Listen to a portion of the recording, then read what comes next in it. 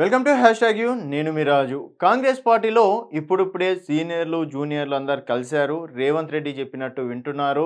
And మొన్న ఠాక్రే వచ్చినప్పటి నుంచి కాంగ్రెస్ పార్టీ అంతా సిట్రైట్గా ఉంది అని చెప్పేసి వినిపించిన టాక్. అయితే తర్వాత ఎప్పటి నుంచో గాంధీ భవన్కి దూరంగా ఉన్న కోమటిరెడ్డి వెంకటరెడ్డి కూడా గాంధీ భవన్కి రావడం రేవంత్ రెడ్డి తోటి ఇంకా అసలు కాంగ్రెస్ పార్టీకి ఇంకా కష్టాలు లేవు. ఇంకా హాస్య హాత్ జోడో అవి అని ఒక్కటి సక్సెస్ చేయడం తర్వాత ఎన్నికల్లో గెలవడం అన్న విధంగా కార్యకర్తలందరూ చాలా ఉత్సాహంగా కూడా ఫీల్ అయ్యారు. తర్వాత ఆ వీడియో చూసిన తర్వాత కావచ్చు తర్వాత వాళ్ళిద్దరు మాట్లాడుకున్నది అదంతా కేవలం మూడు నెలల ముచ్చట అని చెప్పేసి ఒక సామెత ఉంటుంది కదా. అదే విధంగా జరిగిందని చెప్పేసి అంటున్నారు. ఎందుకంటే ఇలా గాంధీ భవన్కి రావడం రేవంత్ రెడ్డితో మాట్లాడడం ఇదంతా జరిగిన ఒక ఫైవ్ సిక్స్ డేస్ తర్వాత నగరికల్లో వెంకటరెడ్డి పైన కోవట్ వెంకటరెడ్డి అని చెప్పేసి ఒక రకమైన పోస్టర్లు అనేది గోడల పైన దర్శనమిచ్చాయి. అసలు ఆ పోస్టర్లు పెట్టింది ఎవరు? దాని వెనుక ఉన్నది ఎవరు? అన్నది ఆలోచనలో మరి రేవంత్ రెడ్డి పేరు అలాగే రేవంత్ రెడ్డి సోషల్ మీడియానే చేయించిందని చెప్పేసి వెంకటరెడ్డి వర్గం అంటున్న మాట. దీంట్లో ఎంత నిజం ఏంటి? ఒకసారి చూసుకున్నట్టయితే మరోసారి రేవంత్ వర్సెస్ కోమటిరెడ్డి. కోవట్ పోస్టర్లపై వెంకటరెడ్డి ఆగ్రహం పిసిసి చీఫ్పై ఢిల్లీ పెద్దలకు ఫిర్యాదు రాజకీయ వర్గాల్లో జోరుగా ప్రచారం. టీపీసీసీ చీఫ్ రేవంత్ రెడ్డికి ఆ పార్టీ ఎంపీ కోమటిరెడ్డి వెంకటరెడ్డికి మరోసారి పంచాయతీ ముదిరినట్లు సమాచారం. ఇటీవల నల్గొండలో కోమటిరెడ్డి వెంకటరెడ్డికి వ్యతిరేకంగా పోస్టర్లు వెలిసిన అంశంపై ఆయన గుర్రున ఉన్నట్లు తెలుస్తుంది. తాజాగా ఈ విషయంపై వెంకటరెడ్డి ఏకంగా ఏఐసీసీకి ఫిర్యాదు చేసినట్లు ప్రచారం జరుగుతుంది.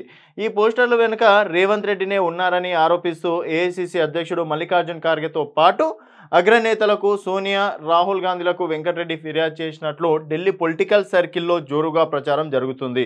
దీనిపైన ఇంకా కన్ఫర్మేషన్ లేదు. జస్ట్ అక్కడ అంటే ఈ విధంగా కలిశారు ఇదే అంశం పైన వారితోటి మాట్లాడారు అంటూ చర్చలు జరుగుతున్నాయి అని చెప్పేసి ఒక న్యూస్ అయితే సర్క్యులేట్ అవుతుంది. ఎందుకంటే నరం లేని నాలిక వంద రకాలుగా మాట్లాడుతుందని చెప్పేసి అంటుంటారు కదా. మరి న్యూస్లు కూడా ఈ మధ్య సోషల్ మీడియా వచ్చిన తర్వాత కూడా ఎక్కువైనాయి. సో ఈ విధంగా వెంకటరెడ్డి అంటే వ్యతిరేకంగా పోస్టర్ల వెనుక రేవంత్ రెడ్డి ఉన్నాడు. సో ఇదే అంశం పైన ఏసీసీ పెద్దలను కలిసిండు. అందులో ఏసీసీ అధ్యక్షుడు ఖర్గే గారిని అలాగే రాహుల్ గాంధీని సోనియా గాంధీని కూడా కలిసి ఈ అంశం పైన మాట్లాడినట్టు చెప్తున్నారు అని చెప్పేసి ఒక న్యూస్ అయితే సర్క్యులేట్ అవుతుందని చెప్పేసి చెప్తున్నారు. బడ్జెట్ సమావేశాల నిమిత్తం ఢిల్లీకి వెళ్ళిన వెంకటరెడ్డి ముగ్గురు నేతలతో విడివిడిగా భేటీ అయ్యారు.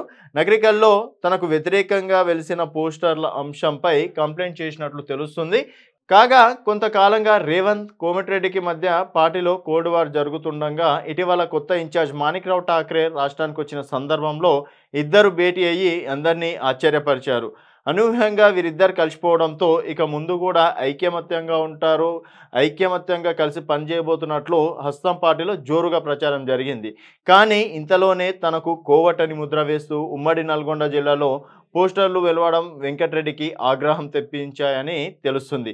ఈ చర్య వెనుక రేవంత్ రెడ్డి ఉన్నాడనే అనుమానంతో పార్టీ పెద్దలకు ఫిర్యాదు చేయగా దీనిపై రేవంత్తో మాట్లాడతామని ఢిల్లీ పెద్దలు హామీ ఇచ్చినట్లు ప్రచారం జరుగుతుంది.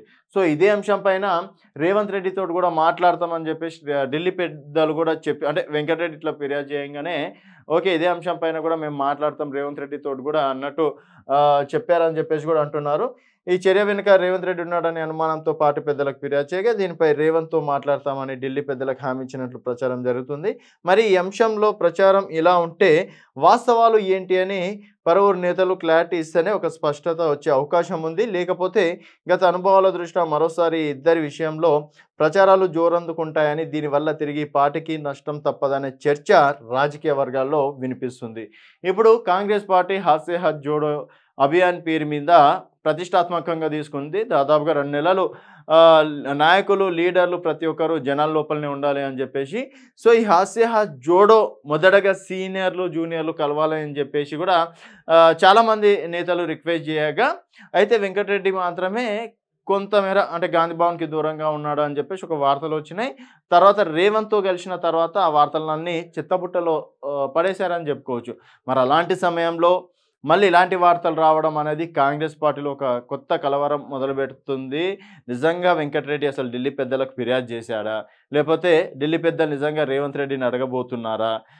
ఇద్దరిని అడిగి దీనిపైన ఒక కాంప్రమైజ్ చేసే అంశం ఉందా లేదా? అయితే ఆ పోస్టర్ల విషయాన్ని నిజంగా వెంకటరెడ్డి ఇంత సీరియస్గా తీసుకున్నాడా? లేకపోతే కాంగ్రెస్ పార్టీ అంటే పడని వాళ్ళు కాంగ్రెస్ పార్టీ పైన ఈ విధంగా బురద జల్లే వార్తలు రాస్తున్నారా అనేది మీ అభిప్రాయాలను కింద కామెంట్ రూపంలో తెలియజేయండి. చూసూనే ఉండండి. Hashtag U.